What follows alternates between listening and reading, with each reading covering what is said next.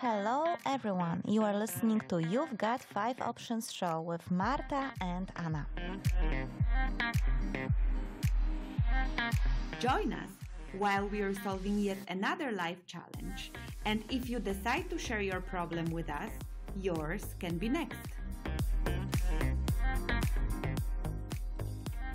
Hello, everyone. This is Marta and Marta again. Yes, if you have listened to us uh, during last week, you know that Anna uh, she had a surgery and she could not join us this uh, wonderful, very rainy Friday to record the four episodes that we uh, record ahead of time. So this is you've got five options, but this time with Marta only. Luckily, I'm not alone at the studio, and we have our lovely technician. Thank you.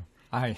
yes, this is Lasse, and we also have a guest for you and our guest's name is Basia. And uh, can you introduce yourself, Basia, a little bit? Of course. Hello, my name is Basia. I'm a psychologist and also a psychotherapist. And I'm very happy to be here and to talk with Marta about a real life challenge that we have yeah. prepared for you. Yeah, I'm so excited to have a real psychologist and a psychotherapist with me today. So it's uh, fully professional. But the beautiful thing about having Basia here is that she can share with us not only the professional perspective, but actually also her everyday life experience. Because the challenge that we have today is how to keep yourself through a difficult time of starting your life from scratch. So, we together have prepared five things that will help you survive starting your life from scratch when you're moving to a new country. Yeah, we are talking specifically about moving to a new country, but if some of you uh, will apply those advices to other situations, that will be great. Yeah, yeah. For example, I know a divorce or just moving to another city. So, Lasse, you will have your ears very open today, I'm yes. sure, yeah. because Lasse he's moving to a new country almost like next month, yeah? Yeah, exactly. Yeah, yeah. next month. So uh, it will be very relevant for you. So and hopefully you will be better prepared. so hopefully we can ask you every now and again uh, what do you think about a tip that we give? But if any of you have been listening to us before, you know that Lasse is like a joker. So sometimes he can be very active on our shows, almost like a co host, while other times we cannot get even another word than hello uh, and goodbye from him. So, just like, so it's just a surprise. It depends on the mood. Yeah. I don't know. It's just, you know. Okay, so before we go directly into the challenge, I would like to ask you a question, Basia, so that our listeners can get to know you a little bit better. Who did sure. you want to become when you were a child? I think I wanted to become a singer and an actress, but that was before I knew that I cannot sing. so um, I think I wanted to perform somehow. But then I also got an idea about being a scientist or um, even a fireman. You know, different very ideas. Different. Yeah, very different. Well, uh, I can share with you the opportunity to give you a microphone. Thank you. So if you really want to sing, I already feel great. so, but um, let's keep it that way. So. okay, no singing. no okay, singing. fine. Okay, thank you for sharing that. And now we will uh, move on to those five tips. I will just tell you what are those five tips, and uh, then we will be digging into them one by one. So, the first tip is keep an area that you love in your life. Tip number two is keep a positive mindset, but let yourself miss and grieve. Tip number three is make plans, including plan your day. Tip number four is take care of your network, the old one and the new one. And the tip number five open up to opportunities.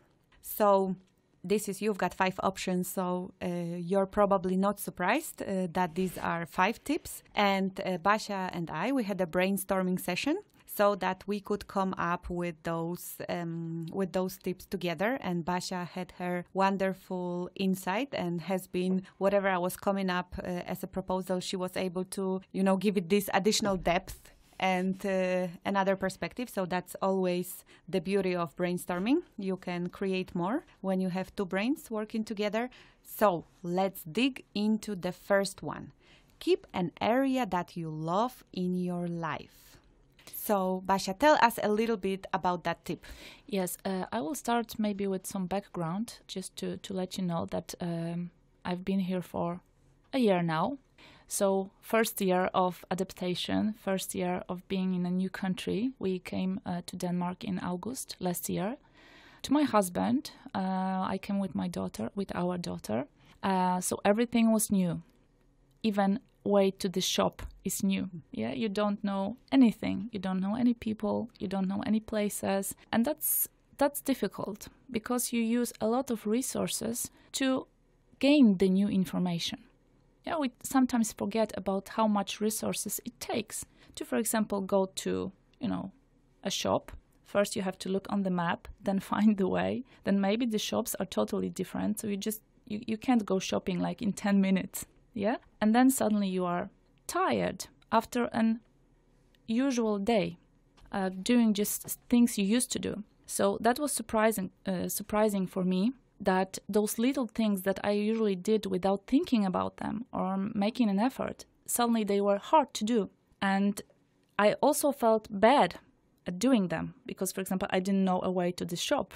That's crazy yeah when you are like over 30 and you like you know take care of your home and it's natural for you and then suddenly you don't know how to do it. So i think it's very important to keep something that you you feel good about you don't have to be good at it like or, perfect in it you don't have to um, be working in it or just something that's important for you something that you like that is just yours it can be just reading books uh, or something that you feel confident in so it's very important to keep that area and remember to make time for it.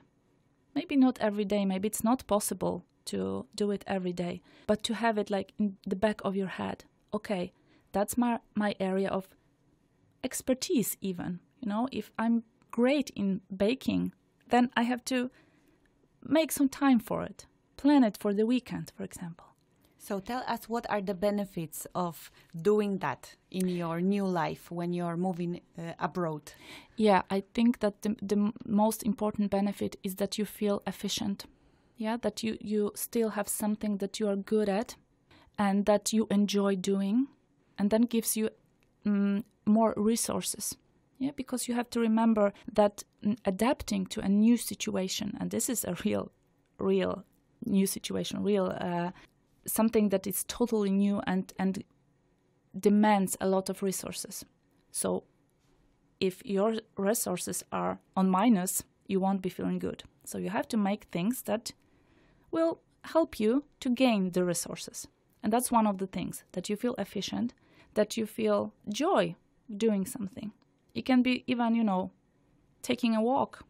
But I will encourage you to do something that you are that you know that you are good at you know not not just like taking a walk okay because i have to take a walk no if you are good at running run okay that sounds like a really really important and good tip. Will you share with us what was it for you? What was that thing that you brought together with yourself from your previous life? Yeah that was actually mm, the thing that we will also be talking later and that that is to to keep some connection to your old country. But for me it was uh, working in the psychotherapy society that I do for free. So it's not like giving me any financial profits, but for me it was important that I still do something that is important for other people and for me.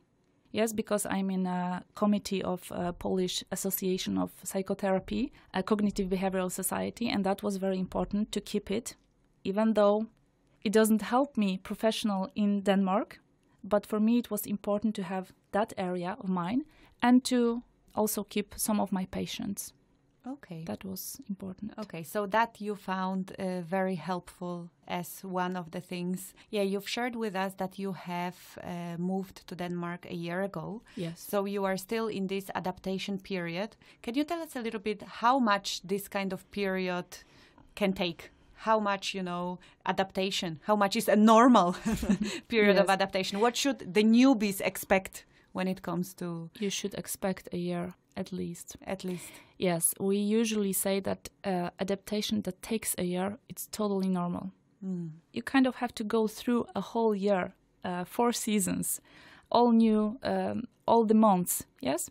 But I also heard, I don't know if it's true, I, it's not like scientific uh, knowledge, okay, so remember that. I've heard that moving to another country uh, demands more time, and you should also start, start counting after you get the job, the job you would like to have. So you don't start counting from the moment you set your foot in a new country or a new place or a new city, but from the moment when you are settled professionally. Hmm. And I mean that that of course requires to people who are used to working and who worked in their home country. Yes, I'm not talking about someone like a student. So that can actually take a longer time for a person who doesn't start to working immediately after coming uh, to a new country. So we have to remember that that we always have to think individually. Of course, in general, in the books, it's a year. Mm. But remember that it can it depends. For example, we moved also during our stay in Denmark. So uh, first we came to uh, Aarhus and then we moved to Hornslet. Mm-hmm. So I couldn't adapt to Aarhus knowing that we are going to move. Mm-hmm. So I don't count those months. Yes, because uh, I knew that that's that's not going to be the place we are going to stay in.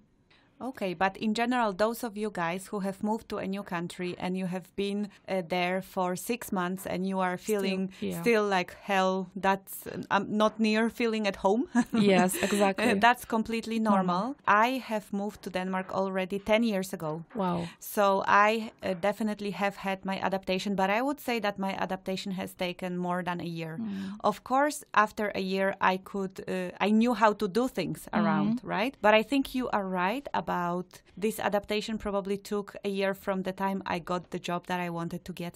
And I would say this is, of course, something we will discuss later on when it comes to social network and building like real Definitely. friendships. That takes time. So, guys, be patient with this process. Exactly.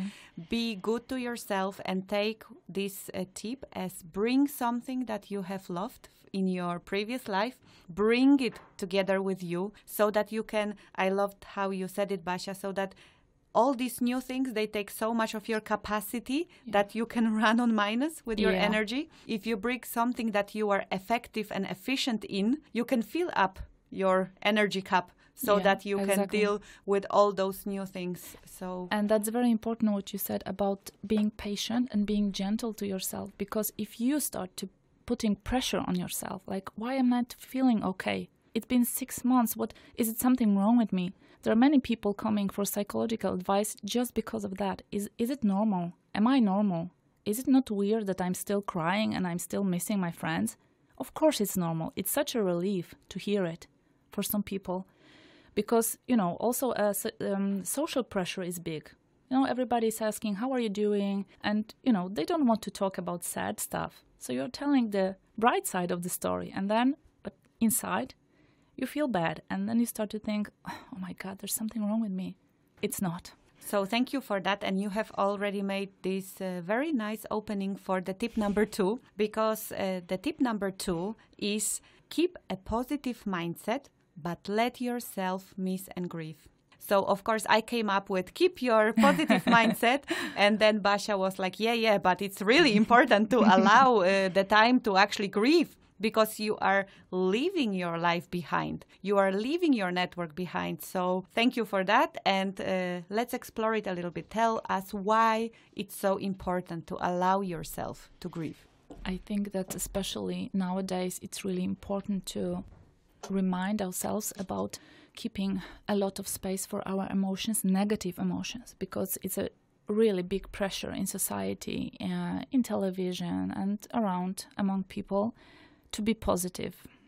And people start to feel bad because they don't feel happy or you know they, they start to have expectation that they should be happy all the time and that's that also causes the pressure which follows to feeling bad about yourself to feeling guilty, for example, you know, that I, I don't cope as well as I should or as the others who are showing their pictures on Facebook.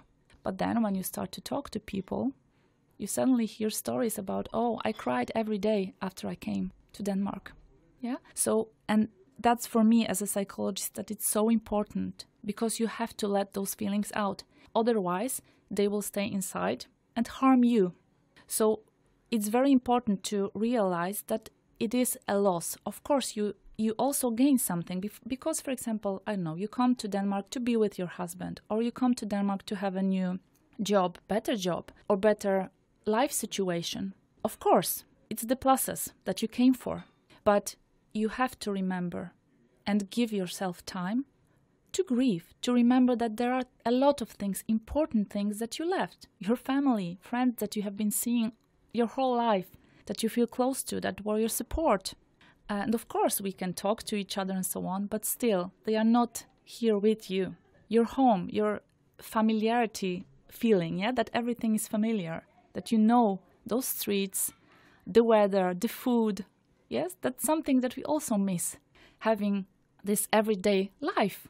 So the language, and it's sometimes easy to forget that on every day when you struggle with, you know, a new life, to forget that okay, it's it's like we said in the previous uh, tip, it's okay to feel bad. You are missing something or somebody. So tell me, uh, Basia, if there are different people, right? And there will be yes. those people who will be more inclined to be naturally positive. They have this more mm-hmm. optimistic uh, mm-hmm. outlook to life, and you, we have just given them a nice tip. You know, it's yep. okay to cry here and there, but they will probably, because of their mindset, they will be able to keep themselves out, you know, mm-hmm. pull mm-hmm. themselves out of grief and feeling sad. But there are those people who might go into that a little bit, you know, maybe not too deep because maybe it's never too deep, but maybe they will struggle with getting themselves out of uh, mm-hmm. this grief. Do you have any advice to those people who who maybe can get a bit too dark? Mm-hmm. I think that um, it's very important to remember to be conscious about what helps you and we naturally forget it when we are feeling bad. That's mm. hap- that happens to everybody that when we are feeling down it seems like oh i will be feeling like that forever and i was a failure before and i will be a failure here and we start to get into the depressive um, circle. So uh, my first tip but you have to remember that it's very like self-help thing. It doesn't have to be enough. So, of course, I, I encourage, if, if it goes too bad, I encourage everybody to get professional help. But you can start with writing the things that you that helped you before. So if you start to get like really low and thinking, you know, have all the black thoughts and feelings that you know everything sucks hmm. and everything is bad and I'm so bad at this and this and I did this wrong and this wrong, then you have to think, okay, this is not facts. This is just my thoughts. That's like a cognitive behavioral technique to do. It's like one of the first things that we learn our clients or patients. Uh, that you sit down and you start to write those thoughts down and uh, see that okay, this is this is my thoughts. This is not facts, mm. and you can start to redefine them. And you do it not by writing a positive list, but more, for example, looking at your past. You can ask your friends to help you with this okay what are my resources? What helped me before? And somebody will tell you for example that you're good with uh, talking to people about your problems. And then you say okay. So maybe that's why i feel sad because i sit at home alone and i start to have all those thoughts so maybe it's enough that i call somebody. Yeah you have to break the circle. So first you can do a list because we forget about the resources when we are down. Mm. so you will have the list for the next time you feel mm. down yeah? And then try to do one of the things from your list yeah, for example, okay, what helped me before? When I was more physically active. Am I physically active now? No. So maybe I will start with a walk for 15 minutes. It doesn't have to be, you know, going to swimming every second day. To break the circle, to break the pattern of feeling bad and being just stuck in your thoughts.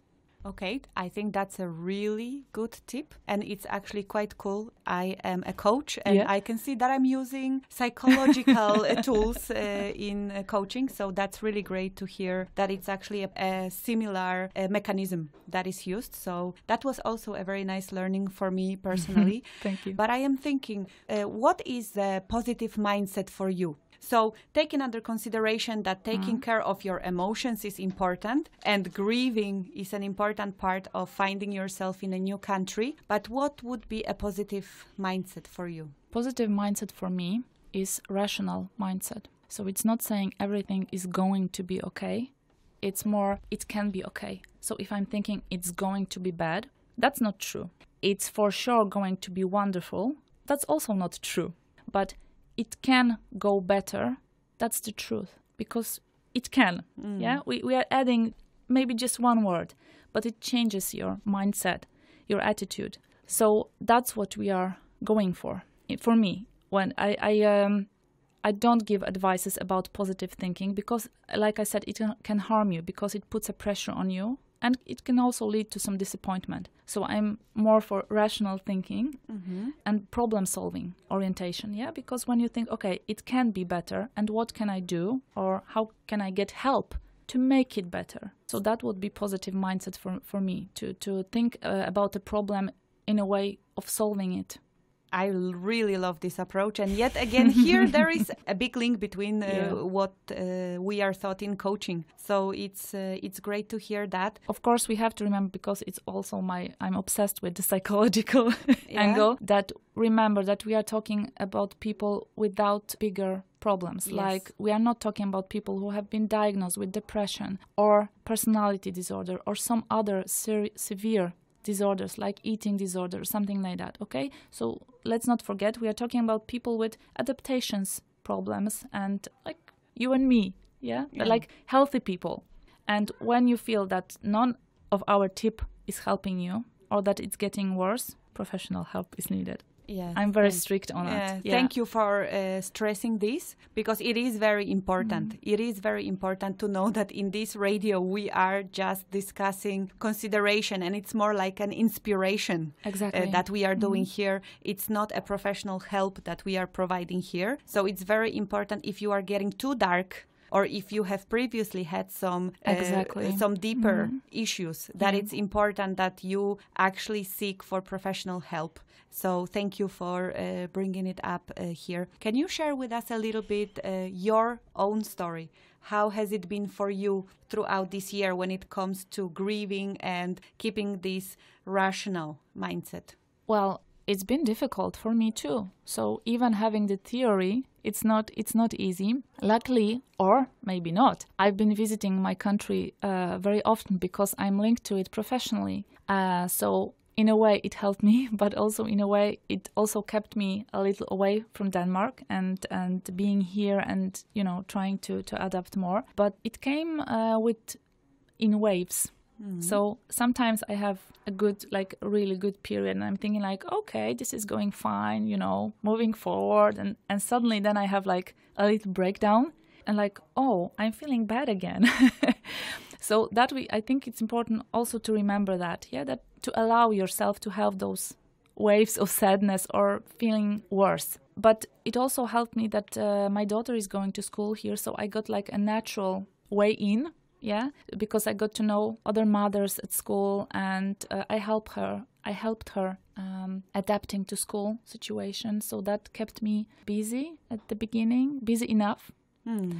but then i also had to have my time of grieving and it came actually a few months after i'd been here. So that was maybe a surprise for me, but psychologically, it's not a surprise. Yeah, that it started to be worse after Christmas um, in January. So it came in August, and you know, people were also expecting, okay, so it's been a couple of months, you are doing fine. And then I start, I started to do worse. Mm. So uh, that was a hard time, like a hard before spring came. Mm. That was like, yeah, I had my my months of of doing not good at all and how did you manage to get yourself out of that not feeling good at all?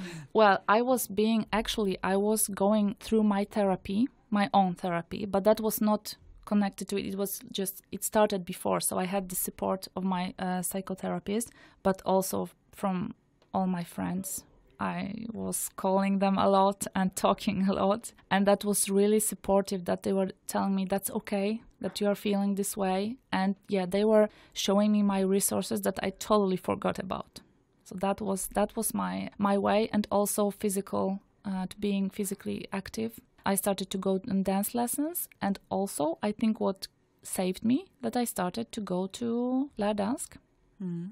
starting a language course, which gave me what we are going to talk about later. It organized my day. Okay. Great. Thank you for sharing those a lot. And we will soon finish this part of the episode. We, we are doing this in two episodes. So before we finish, I wanted to ask Lasse have you been inspired by those tips that yeah, Basia shared with definitely. us? Definitely. I'm just listening, soaking it in, trying so to get as much Do you know which part of you, what you love doing, uh, you're going to bring with you to Amsterdam? Uh, I definitely like photography and just walking, to be honest. Being outside is important for me to take a walk if uh, things become too much, you know.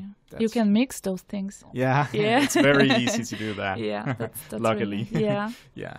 Okay, That's so uh, you already know what you can bring with yourself to yeah. keep this part where a you camera. A camera. That's for sure. Exactly. you can bring a camera. Okay, and when it comes to the second tip, the keeping the rational mindset. Sometimes we can call it positive, but we don't mean it in a way that yeah. you are neglecting exactly. your feelings and just trying to be positive because everyone should be positive. But you know, this more rational mindset and uh, allowing yourself to miss and grieve. Mm have you been inspired uh, by any of the considerations we have had here? It sounds very, uh, you know, uh, like, yeah, rational is not the word, but I don't know, like, yeah, like sound advice, because mm. you can't ignore the way you feel. Uh, so, I but believe me, a lot of people do.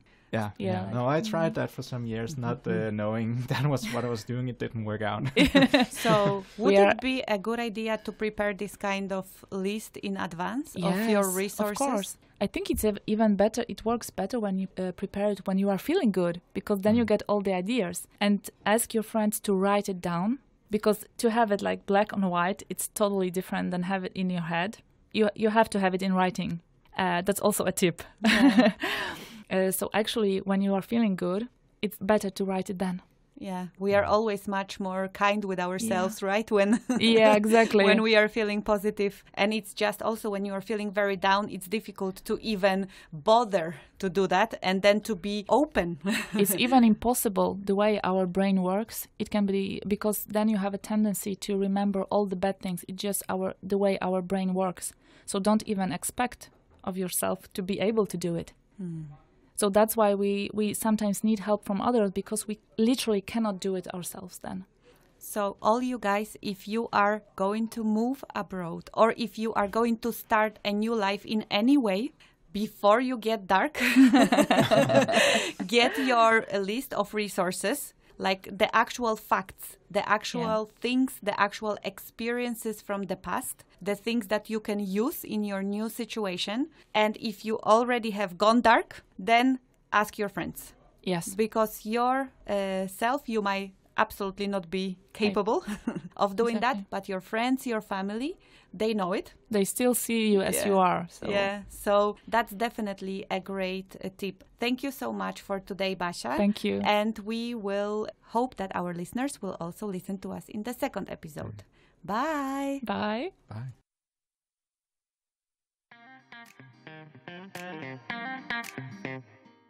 You are listening to You've Got 5 Options show, where we solve your life challenges. Remember that you can visit our website, the5options.com, where you can submit your challenge or find our previous challenges. That's all, folks.